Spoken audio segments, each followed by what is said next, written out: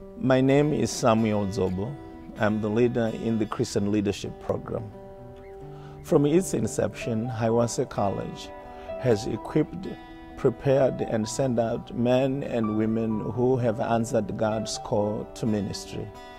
They have served in local churches as pastors or as youth leaders.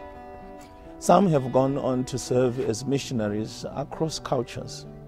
And we are excited that we are continuing with this tradition that to produce men and women who are answering God's call for ministry.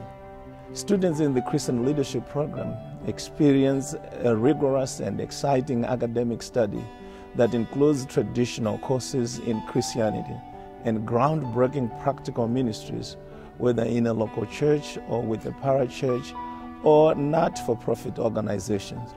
The program provides students with a strong biblical and sound theological foundation in three concentration tracks intercultural ministry, pastoral studies, and youth ministry. In the Christian Leadership Program, students are prepared to be leaders whose heart is strangely warmed by God and whose mind has been sharpened to engage their cultures, communities, and ministries with the love for God and others. Here at Hiwassee College, we know how critical it is to equip and prepare men and women who are answering God's call. So we have a blessing for them. There are scholarships available for students in the Christian Leadership Program, and we will be glad to assist them financially through these scholarships. I'm April Gaston. I'm majoring in the Christian Leadership Program here at Hiwassee College.